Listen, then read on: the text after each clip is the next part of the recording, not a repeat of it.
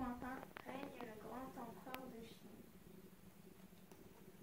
Il déteste par-dessus tout l'imperfection. Son palais est immense et son jardin encore plus. Ce dernier est parfumé et coloré en toutes saisons. Il est si immense que le jardinier lui-même n'en a pas encore vu le bout. À chaque fois, il s'arrête à la lisière de la forêt, qui s'étend jusqu'à la mer. Ce que le roi ignore, c'est que dans ces forêts, un rossignol gris euh.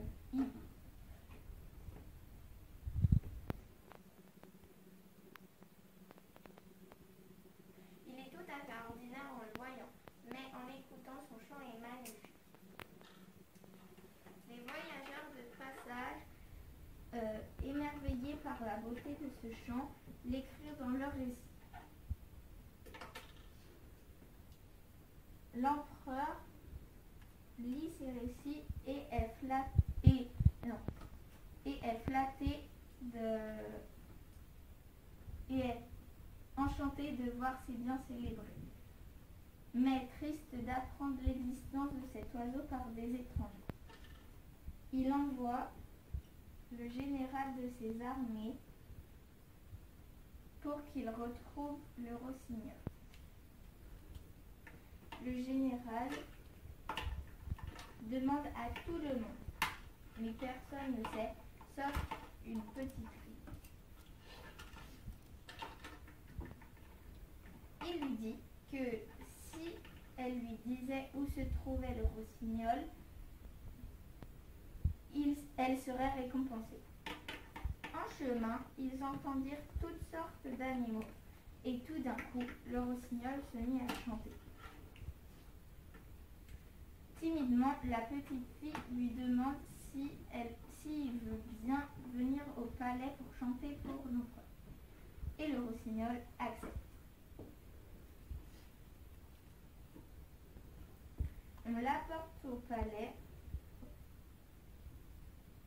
et il chante le soir même. Ce chant est si intense que l'empereur se met à pleurer.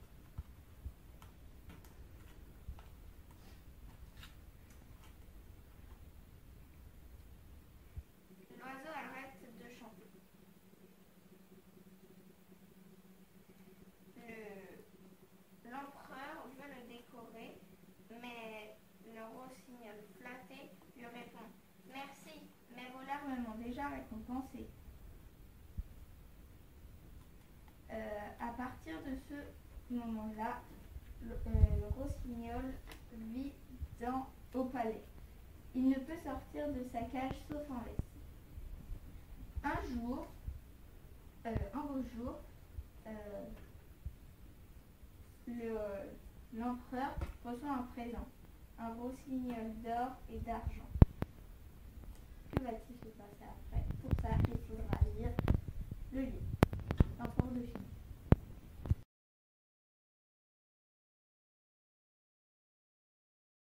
Le cœur du tailleur. Il était une fois un vieux tailleur qui avait passé toute sa vie à coudre des costumes magnifiques pour les personnes qui habitaient du château. Mais bien qu'il ait fabriqué les plus beaux costumes du royaume, il ne les avait jamais faits avec son cœur. Il avait besoin de changer d'air. Il avait besoin d'entendre que dans sa poitrine, un muscle faisait. Alors, il décida de tout abandonner. Il prit pour unique voyage un coffre où il y rangeait ses ciseaux, un morceau de fil, des tissus et des aiguilles de toutes les différentes tailles. Il marcha, marcha pendant deux jours. Puis, il arrive à un village. Il a très soif les habitants du, royaume, village, lui donnent, lui donnent à boire. Il se demande alors d'où vient cette eau, est euh, dans le désert et il ne sait pas d'où elle vient. Alors, le lendemain matin, sa,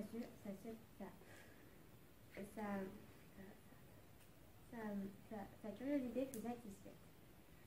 Tous les jours, les habitants du, ro- euh, les, habitants du village allaient marcher pieds nus jusqu'à la source de la plus proche pour ramener de l'eau. De retour, ils avaient les pieds en sang. Alors, pour la première fois, le tailleur entendit. La souffrance de ces gens, de ces gens avait fait palpiter le cœur du tailleur. Alors, il décidait de faire quelque chose. Et il causait sans relâche toute la nuit. Si vous voulez savoir la suite.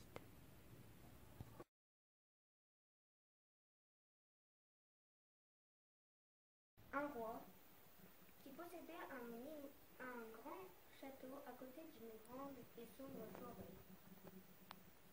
Un jour, il envoya plusieurs chasseurs pour lui rapporter du gibier, mais aucun de ces chasseurs ne. Un- euh, de tout le monde avait peur, du coup personne n'alla dans cette forêt tellement il faisait peur. Mais un jour, un nouveau chasseur arriva dans le château et décida d'aller avec son chien dans la forêt. Son chien trouva, son chien trouva une mare et dans cette mare, un arbre sauvage Nommé Jean de Fer. Le roi l'emprisonna dans une, dans une cage à côté, dans, le, dans, la cour, dans la cour du château. Un jour, le fils du roi joua avec sa balle en or, mais l'a fait rouler dans sa cage. La seule façon de récupérer la balle était d'aller chercher la clé sous l'oreiller de la reine.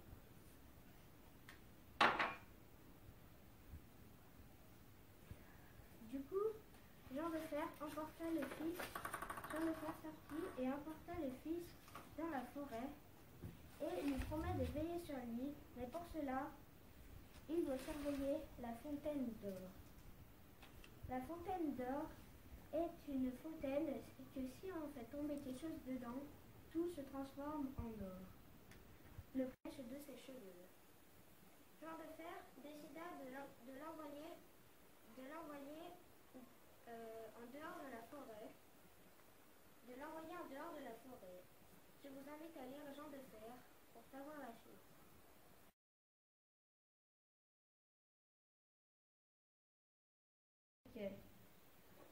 L'histoire d'un soldat qui, re- qui revient du front de guerre.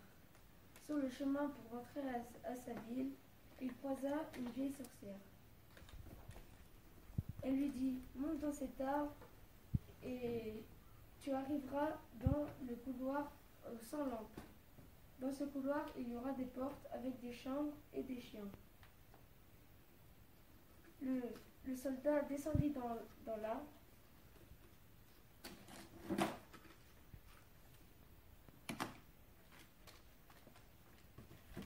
arriva dans le couloir aux 100 lampes.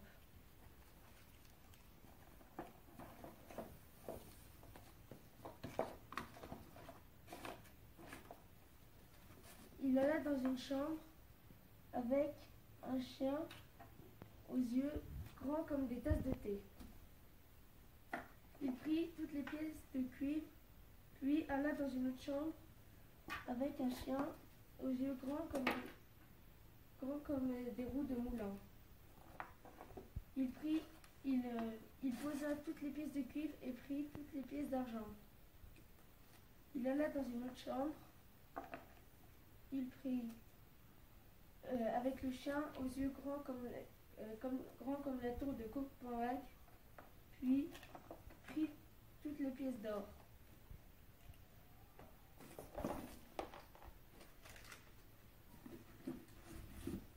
Il il remonta à la surface de l'arbre, puis la sorcière lui dit Donne-moi le briquet. Et le soldat lui dit Non, je veux d'abord savoir pourquoi.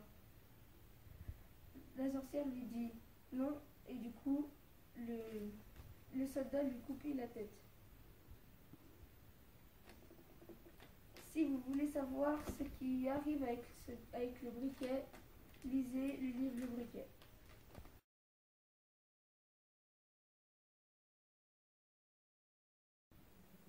Et le roi dragon. L'histoire se passe dans un somptueux royaume sous-marin peuplé de créatures fantastiques. Ce royaume est dirigé par le roi dragon, habité et très mauvais. Celui-ci, aucun, remède ne peut. L'un de ses ministres lui dit que les médecins humains sont très compétents. Alors, il en convoque. Il n'existe qu'un seul remède pour, le, guérir. Manger le foie d'un animal nommé lièvre. Et il habite sur montagne. Il, est- il organise alors une réunion avec tous ses ministres pour organiser la capture du lièvre. La tortue, ministre des Affaires étrangères, se propose pour accomplir la tâche. La tortue fait de nombreuses rencontres au cours de son voyage. Réussira-t-elle à trouver le lièvre puis le convaincre de venir avec elle Vous le saurez en lisant Le lièvre et le roi dragon.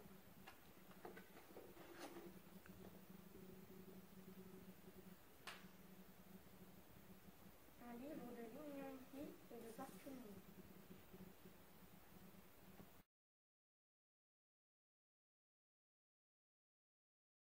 Une fois, le petit chaperon rouge, à la demande de sa mère, alla apporter à sa grand-mère qui habitait de l'autre côté de la, forêt et qui était très malade, un pot de beurre et une part de galette. En chemin, elle rencontre un loup. Le loup lui dit Où vas-tu comme ça Je vais apporter un, un pot de beurre et une part de galette à ma grand-mère qui habite de l'autre côté de la forêt et qui est malade. Le loup ne la mangea pas car il y avait des chasseurs et qu'elle pouvait penser, penser manger la grand-mère et le petit chapeau rouge. Le loup lui dit Passe par ce chemin-là et profite de la promenade. Je prends celui-là. Le loup courra à grande vitesse à la maison de la grand-mère. Ah oui. La grand-mère et se coucha dans le lit. Il va, il attend le petit chaperon rouge. Le petit chaperon rouge arrive. Le petit chaperon rouge entre, mais ne reconnaît pas sa grand-mère. Il se couche dans le lit. Que va-t-il lui arriver au petit chaperon rouge? Est-ce que le loup va la manger? Il lire le livre. Petit. Une fois, une vieille sorcière. Sa fille est très belle. Et beaucoup de prétendants la convoitent. Mais à chaque fois que l'un d'eux se présente pour épouser sa fille, elle le soumet à trois épreuves. S'il ne les réussit pas toutes, elle l'exécute. Tous ceux qui se présentent échouent. Mais un jour, le fils d'un roi entend parler de la beauté extraordinaire de la princesse. Il demande alors au roi, son père, Laissez-moi tenter ma chance. Mais le roi lui répond Non, non, ou tu mourrais. Alors le prince sombre dans une terrible tristesse que aucun médecin du pays n'arrive à soigner. Au bout de sept ans, le roi va voir son fils et lui dit Eh bien alors va mon fils, il n'y a rien d'autre que je puisse faire pour toi. Tout heureux, le prince prend joyeusement la route. Le prince réussira-t-il les trois épreuves proposées par la méchante reine? Vous le saurez en lisant Les Six Serviteurs, un conte des frères Grimm.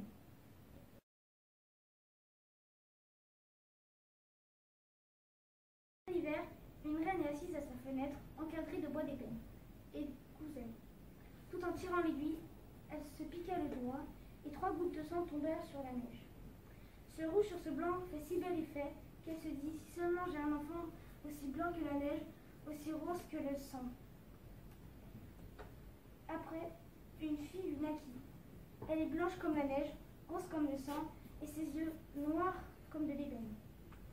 On l'appelle Blanche-Neige, mais la reine mourut en lui donnant le jour.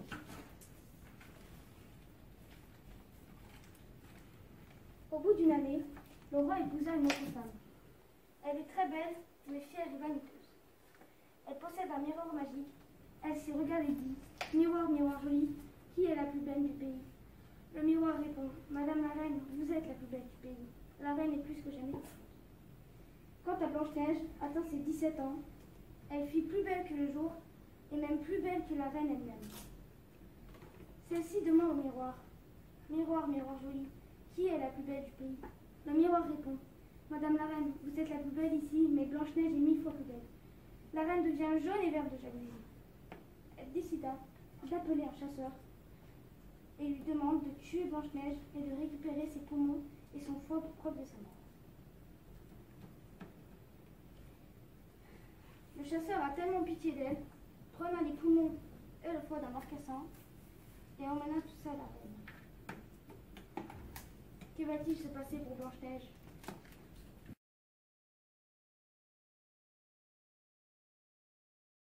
Maman Brebis qui part euh, dans la forêt et qui dit gare au loup.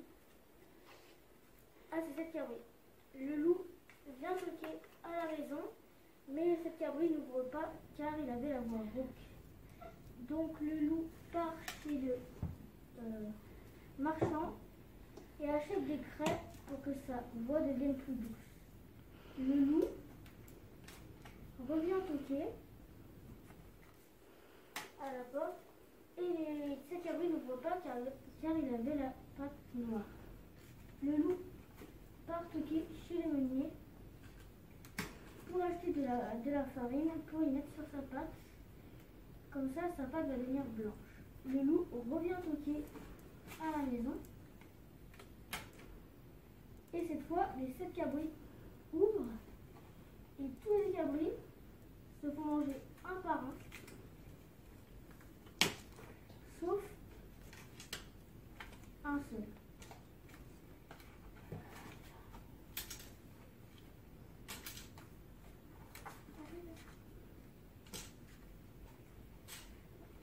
Le loup repart dans sa forêt et la maman brebis revient à la maison. Que va-t-il se passer après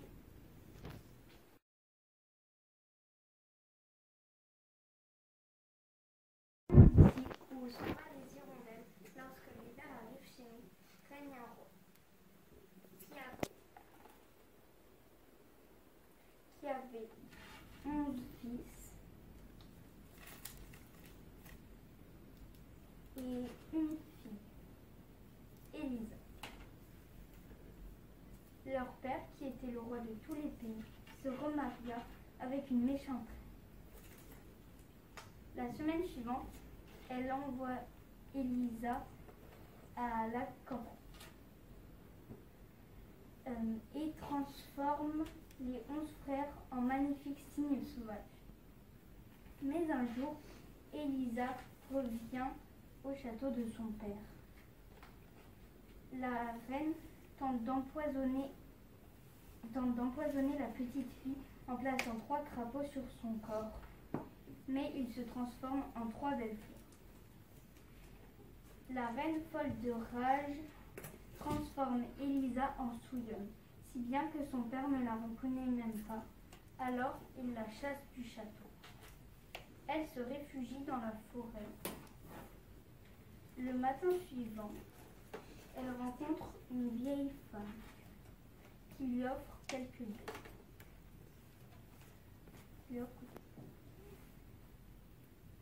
Elisa lui demande si elle avait vu ses frères, mais la vieille femme lui dit qu'elle n'a vu que onze cygnes sauvages nager avec une couronne d'or sur la tête.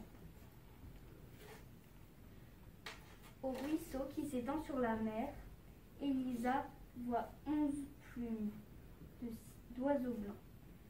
Elle attend le coucher du soleil et elle voit onze cygnes sauvages qu'il a. À la tombée de la nuit, ils retrouvent leur aspect de prince et ils racontent qu'ils vivent sur un rocher au milieu de la mer et qu'ils ne pourraient pas revenir avant un an. Pour emmener leur sœur, ils tissent un filet. Tissent un filet.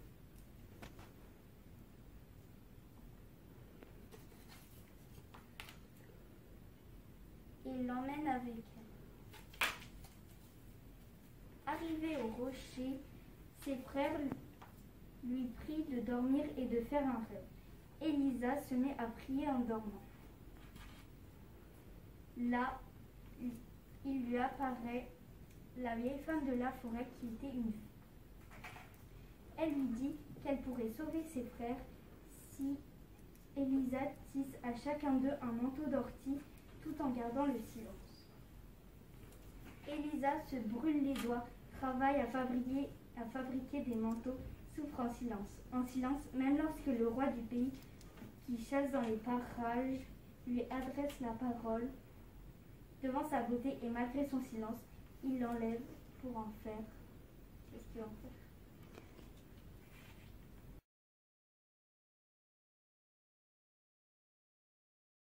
de deux sœurs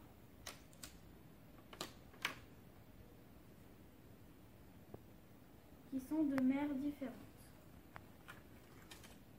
Un jour, quand elles ont, eu l'âge de se marier, le chef du village les ont convoquées.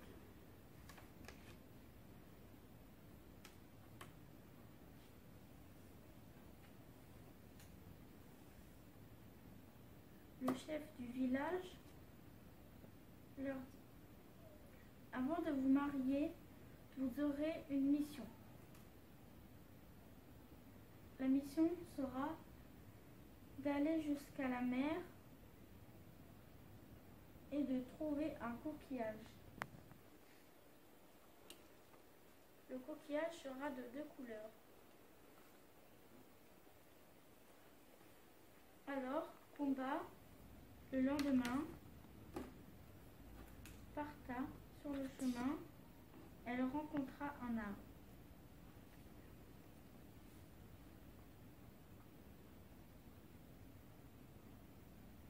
L'arbre lui dit Bonjour ma fille, tu es bien polie aujourd'hui. Prends quelques fruits de mon arbre et repose-toi à l'ombre.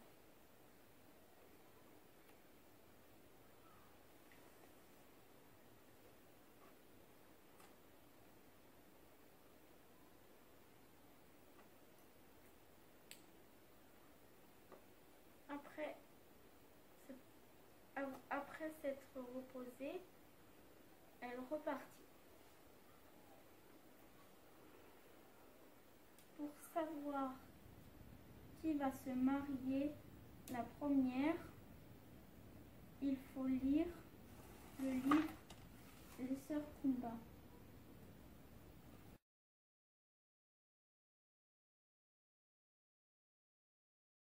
Le rossignol et l'empereur de Chine.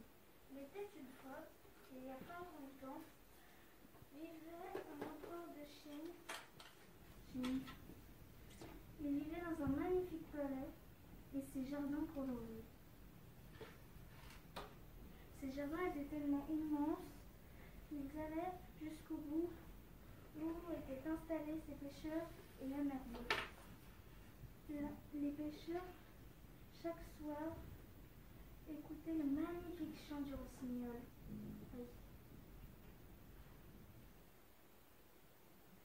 Rossignol avait tellement un magnifique chant que les pêcheurs prenaient leur travail avec le cœur rempli de joie. Quand l'empereur apprit ceci, il fut fort étonné de ne jamais avoir rencontré le rossignol sur sa propriété. Il, fit demander son général sur le champ.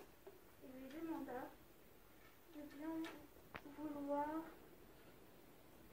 de bien vouloir lui rapporter le rossignol. Il alla, il alla demander dans la cour si personne n'avait jamais entendu parler du rossignol, à part la petite fille qui en avait déjà entendu parler. Et l'arbre mena jusqu'au rossignol. rossignol. La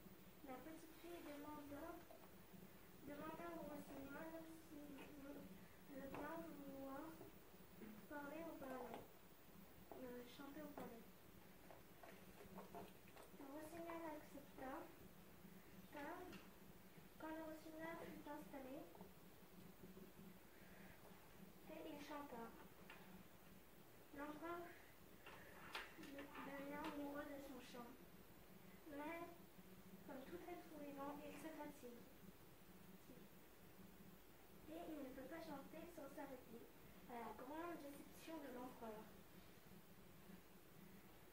Pour que l'empereur soit heureux, pour que l'empereur soit heureux, on lui offrit un autre automate. Celui-ci peut chanter sans s'arrêter.